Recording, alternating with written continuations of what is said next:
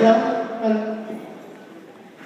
the United States of America, Barack Hussein Obama.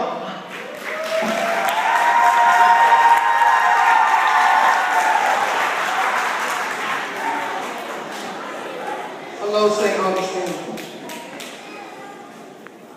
If there is anyone out there who still doubts that America is a place where all things are possible, who still wonders if the dream of our founders is still alive in our time, who still questions the power of our democracy, tonight is your answer.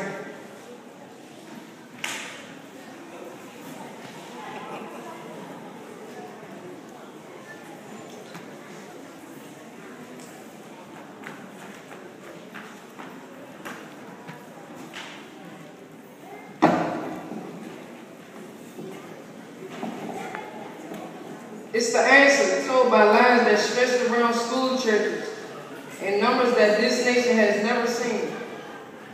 By people, by people who waited three hours and four hours, many for the first times in their lives, because they believe that this time must be different, that their voices could be that difference.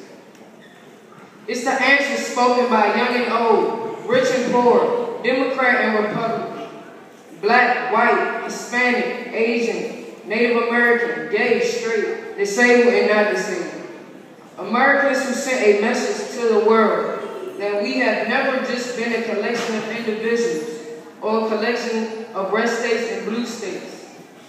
We are, and always will be, the United States of America. Thank you, God bless you, and God bless the United States of America.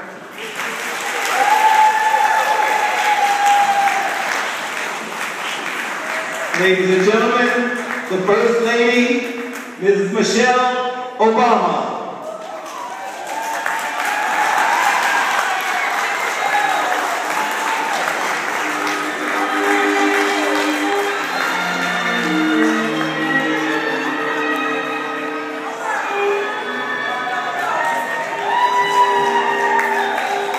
Yeah.